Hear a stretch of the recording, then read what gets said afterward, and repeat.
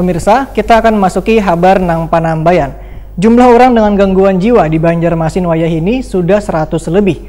Beberapa di antaranya ada yang masih berkeliaran di jalanan. Dinasnya sudah bekerja sama dengan pemerintah Provinsi Kalimantan Selatan untuk memberikan perhatian terhadap ODGJ di Banjarmasin dengan menyediakan rumah penampungan termasuk ditempatkan di Rumah Sakit Jiwa Sambang Lihum. Untuk kabar lengkapnya, mari kita simak yang satu ini.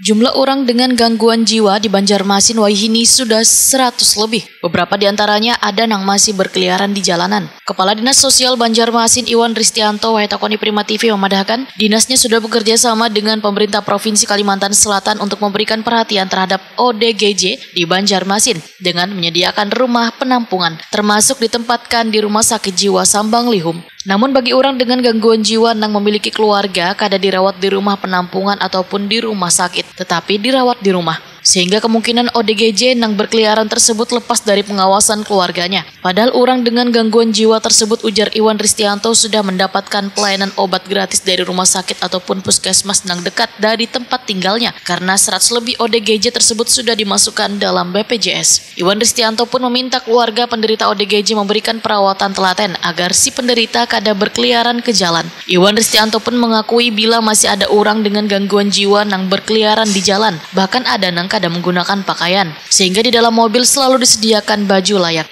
Karena bila ditemukan ODGJ nang kadang menggunakan pakaian bisa langsung dipasangkan.